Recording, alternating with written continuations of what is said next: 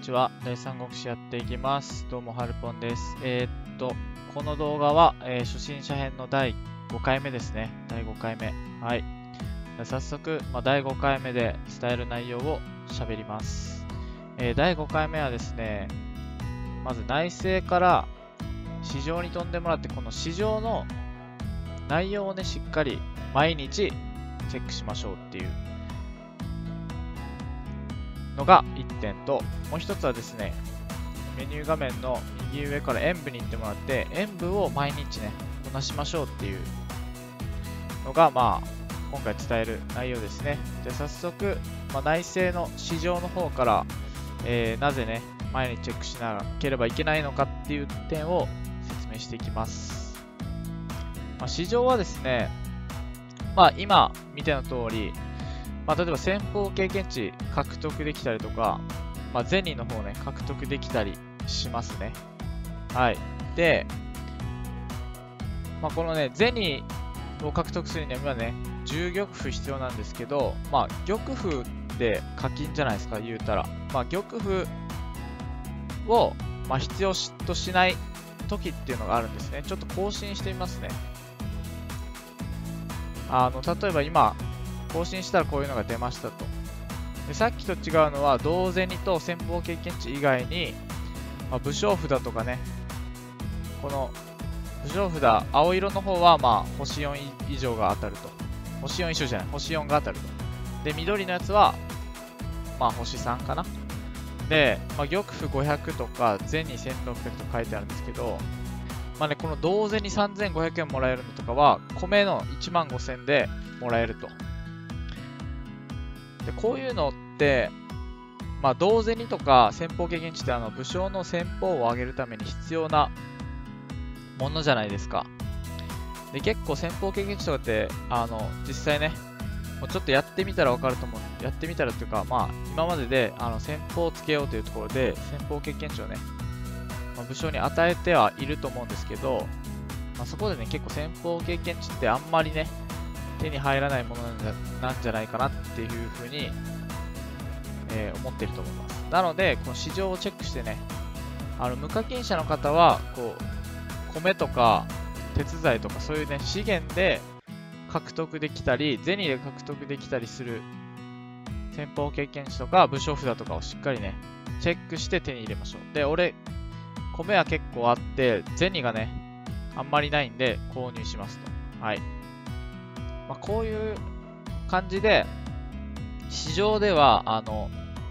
なかなか手に入りにくい先方経験値とか同然に、あとは星4の武将札とかがたまにね、あの、今は玉符、500玉符必要なんですけど、たまに、あの、石材10万とかね、銭3万とかで、星4武将1体確定で手に入る武将札とかもあったりするんで、ま、そういうのをね、逃さずに手に入れようというわけですね。はい。まあ、それがまあ市場のメリットかな。で、もっとね、今シーズン1なんで、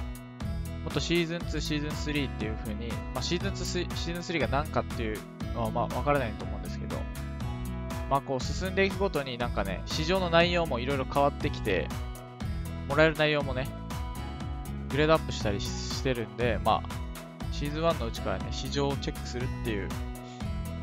あの、まあ、行動をね、ルーティンに入れてもらえれば、結構、まあ、第三国志上手くなるかなって思います。はい。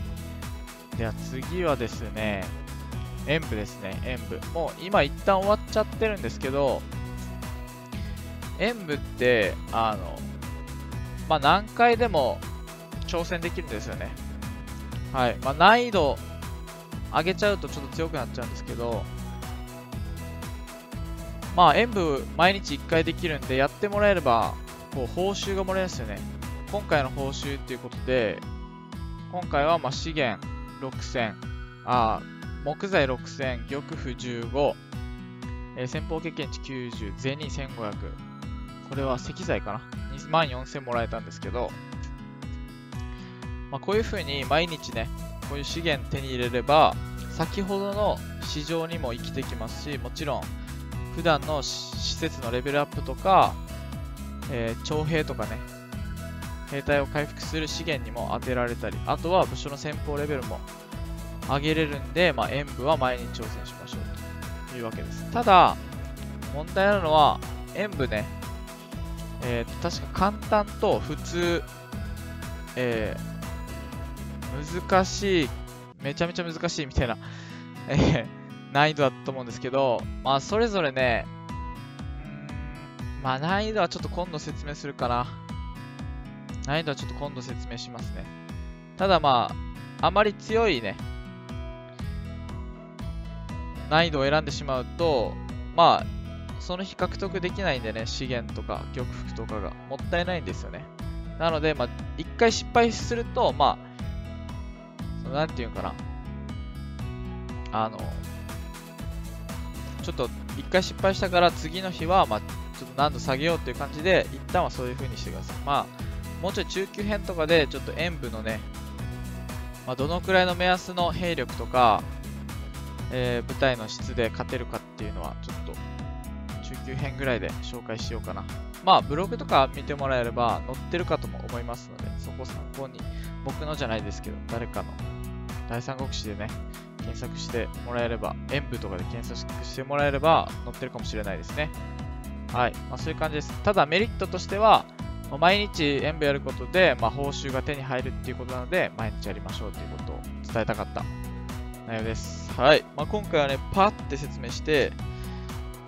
まあ、簡単な内容なんですけど、まあ、ぜひね、あの初心者、ま、始めた最初の方から毎日やってほしい内容なので、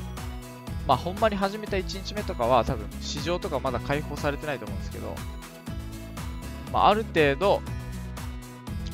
時間経ってきたら市場とかね、開放されるし、塩分も進めていけば、どんどん開放されていくんで、まあ、ぜひやってください。はい。これを初心者の方